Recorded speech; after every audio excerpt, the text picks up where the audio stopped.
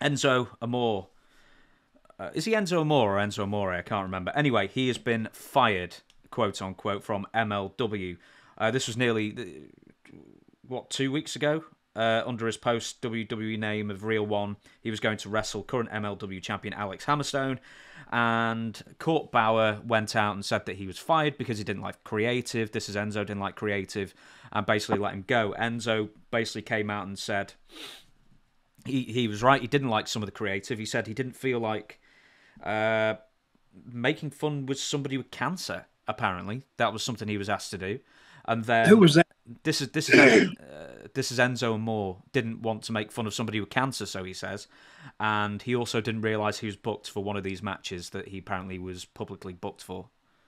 Uh, memories of Enzo, if you have many of them, because I know you didn't really uh, cross paths too much. Well, I remember Enzo. He was mostly in NXT when I was there, but I kept hearing about him and hearing about him.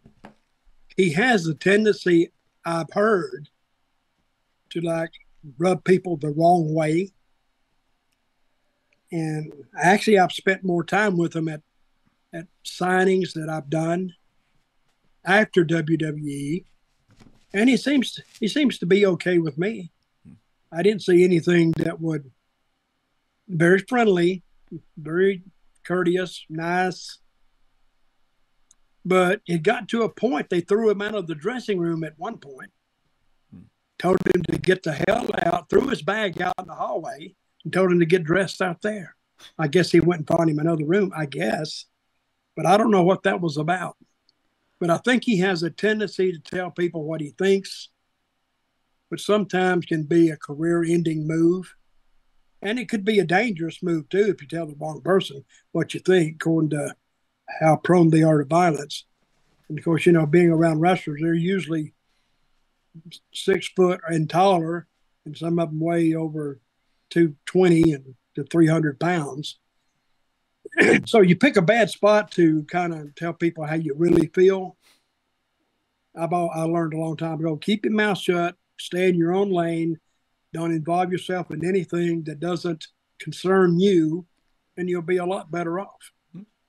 I, I should But also. I didn't, sorry. meet a lot of.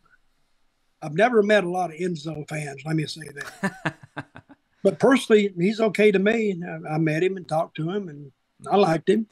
Uh, I should also add that Enzo uh, said that he never or he did not have a contract, so he basically just wasn't being used rather than being specifically fired. Uh, next on the agenda, oh, he also calls Court Bauer shisty.